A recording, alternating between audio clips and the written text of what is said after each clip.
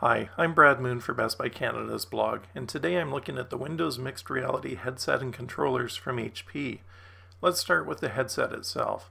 The 1440 to the power of 2 on the side reflects the fact that this headset is equipped with a pair of 1440 by 1440 pixel lenses. That high resolution is one of the keys to an immersive virtual reality experience. As you can see, there's plenty of padding to ensure a comfortable fit.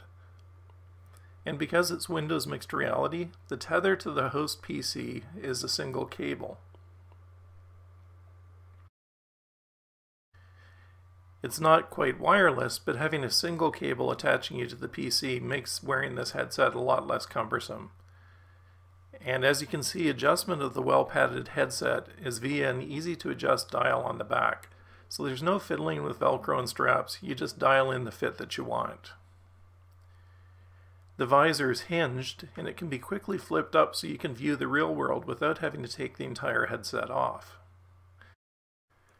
Regular readers of the blog may notice that HP's headset resembles the Acer headset I reviewed a few weeks ago. That's because both are designed to Microsoft's Windows Mixed Reality specifications. The same holds true for the controllers. As you can see, the HP controllers are studded with LEDs, Windows Mixed Reality headsets use those LEDs to track motion through cameras mounted in the headset.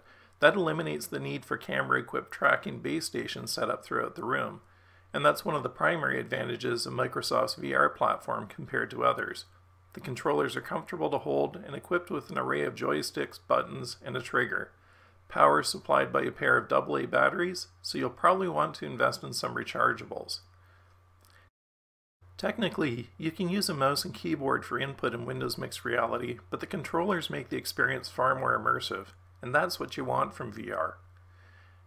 To use this rig, you need a PC that's suitably equipped. I tested it with this 17-inch HP Omen gaming laptop that was more than powerful enough. It had an Intel Core i7 CPU and an NVIDIA GeForce GTX 1060 video card with 6 gigs of video RAM. Here you can see one of my kids is playing Ghostbusters in VR, choosing the sitting position as my office is a little small for lunging around. You can see there's a single cable connecting the HP headset to the laptop, and it's a hybrid that splits into HDMI and USB on the computer end. If you're looking for a virtual reality experience that doesn't require an elaborate setup, HP's Windows Mixed Reality headset and controllers are well worth considering. Best Buy carries these as well as all the latest virtual reality headsets and controllers and the PCs that drive them. If you want to learn more about HP's Windows Mixed Reality headset and controllers, be sure to read my full review on Best Buy Canada's blog.